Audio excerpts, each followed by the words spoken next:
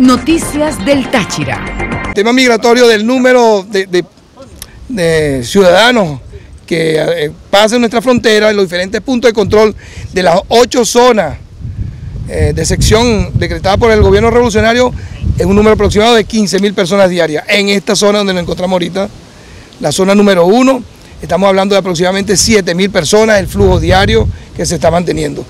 Y allá en, en el sector de Ureña aproximadamente unas 800 personas también.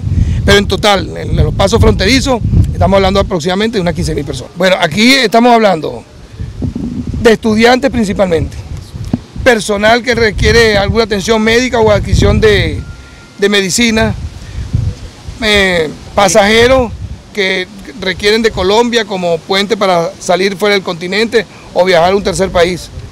Y, y bueno, y los laborales que puedan ser requeridos y autorizados por la autoridad única que trabajen aquí en alguna empresa o en alguna empresa allá en Colombia. Por eso es la necesidad de que el gobierno revolucionario establezca controles y por eso es la necesidad de construir y reordenar estos espacios físicos, bueno, para controlar a los que entran y salen a la República de manera legal, bajo un control, bueno, como, como lo hacen todos los países del mundo, un control soberano, amigable, por supuesto, la patria de Venezuela, la patria de Bolívar, de nuestro comandante supremo, siempre ha sido una república abierta al mundo a los, a los transeúntes, a los migrantes, a nuestros vecinos que con nosotros conviven, que con nosotros hacen vida. Ahorita atendíamos, saludábamos a los, a los niños y las niñas que pasan a Colombia a estudiar.